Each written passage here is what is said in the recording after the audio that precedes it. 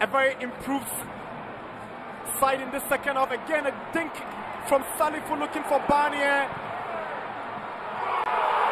That's the opener. Daniel Afriyie Barnieh.